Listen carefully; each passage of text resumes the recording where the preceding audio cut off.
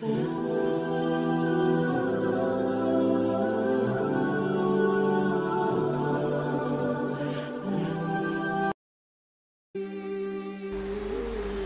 datang ahlu Syam, ketika datang orang-orang ini ngompor-ngomporin ahlu Syam, ya, laknatlah wahai Ali penduduk Syam. Apa kata Sayyidina Ali? La sami'tu Rasulullah sallallahu alaihi wasallam yaqul. Aku mendengar baginda Nabi SAW bersabda, La tal'anu ahla Syam. Jangan pernah melaknat penduduk Syam. Kenapa? Fa inna fihimul abdal. Di sana ada wali-wali kualitasnya abdal.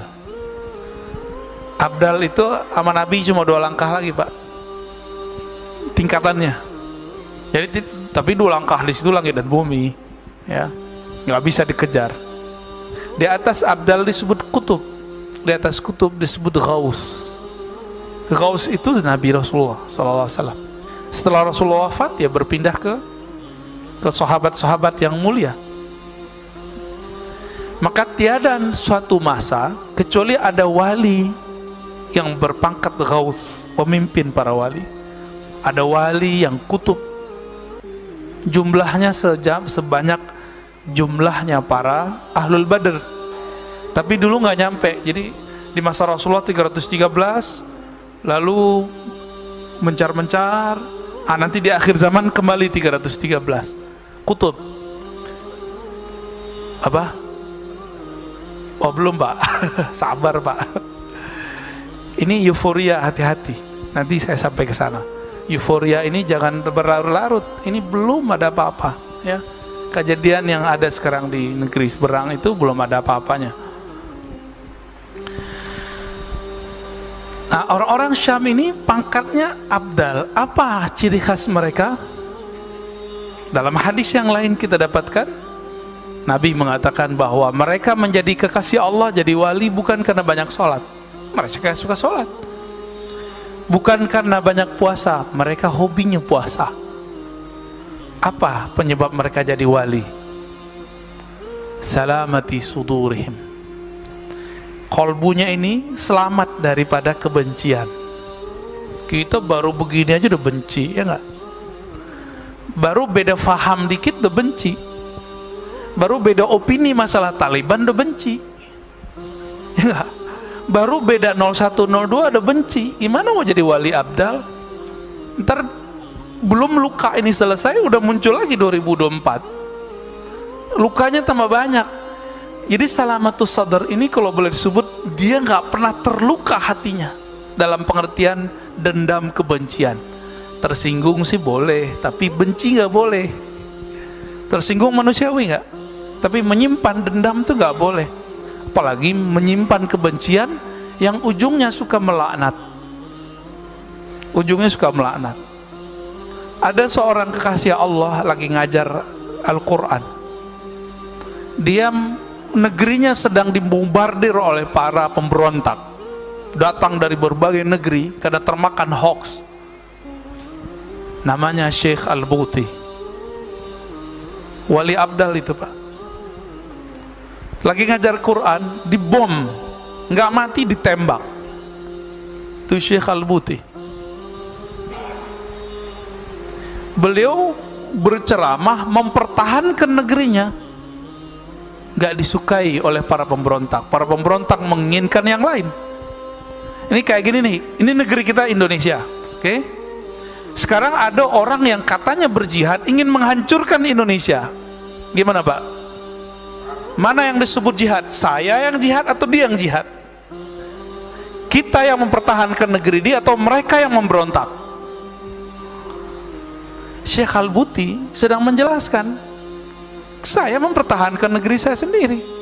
Tapi dituduh oleh para pemberontak bahwa dia ini penjilat pemerintah. Datang anaknya 2013 ke sini Pak. Ke negeri kita. Syekh Taufik Al-Buti. Eh 2015 Pak. 14 saya lupa. Diundang ke UI saya kan berguru ke beliau dulu 2006 2007 2008 ya udah lama nggak ketemu. Sehari sebelum ketemu saya udah bayangin kalau ketemu beliau meluk-meluk beliau. Ketiduran? Tidur itu rasanya panjang sekali kita dialog panjang. Bangun tidur saya udah puas.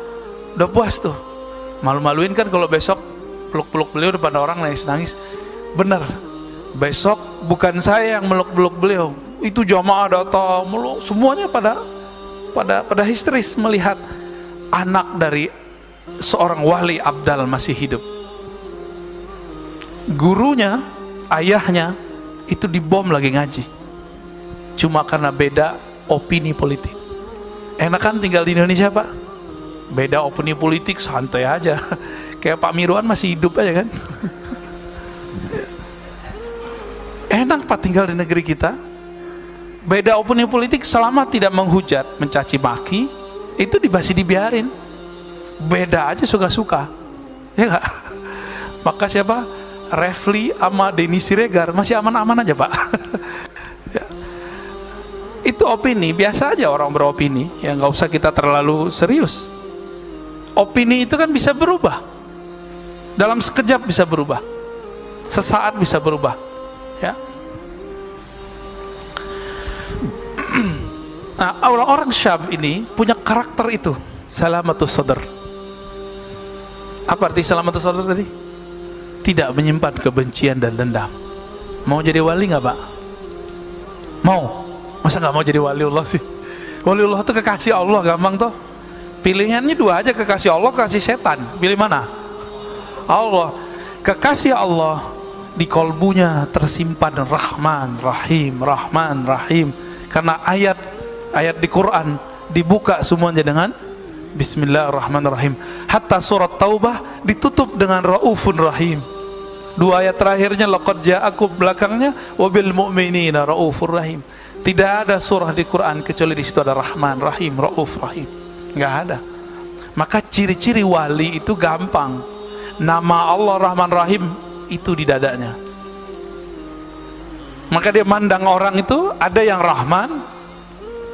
Ini kita kasih tahu nih kenapa orang ada orang kayak Gus Dur? Dulu saya pembenci Gus Dur pak. Dan saya mengkafirkan dia karena didoktrin dulu Gus Dur kafir musyrik. Dulu begitu. Pas kita belajar tentang ilmu ciri khas kewalian wali-wali Allah. Wali-wali itu jadi wali karena dia menghayati nama-nama Allah dan nur nama Allah masuk ke dalam dirinya. Ada dua nama Allah di Quran yang sering disebut Bismillahirrahmanirrahim. Rahman itu sepakat semua ahli tafsir semua ahli Asmaul Husna. Kasih sayang Allah yang tercurahkan kepada semua makhluk. Tidak hanya kafir tidak hanya mukmin kafir juga tidak hanya manusia hewan juga. Bahkan tumbuhan. Bahkan malaikat sekarang setan sekarang itu iblis itu bisa hidup karena rahmannya Allah. Maka orang-orang yang dapat nur ini itu mandang semua orang sayang. Bukan berarti dia membenarkan semua agama bukan enggak. Walaupun dia dapat gelar apa bapak pluralisme. Bukan itu sebenarnya tapi di kolbunya ada nur rahmaniyah. Rahman artinya menyayangi makhluk semuanya tanpa terkecuali. Kebanyakan kita kan udah nggak rahman rahim juga enggak rahim artinya apa? Rahmat Allah khusus kepada para mukminin orang-orang yang beriman orang-orang yang percaya. Kita sama orang yang percaya beda politiknya udah benci gimana mau dapat rahman? Ya rahim pun tidak. Mau jadi wali? Wali murid. Kalau wali murid mah dari kemarin